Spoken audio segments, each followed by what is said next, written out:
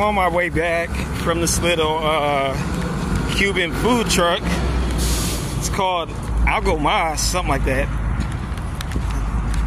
I said something in English, I can't remember, but I know this food's about to be fired because when they can't speak English and it's Spanish, that means they can cook.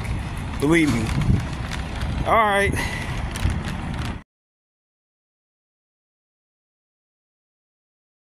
All right, people, watch out.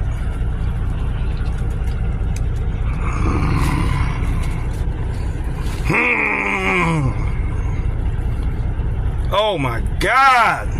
Mm.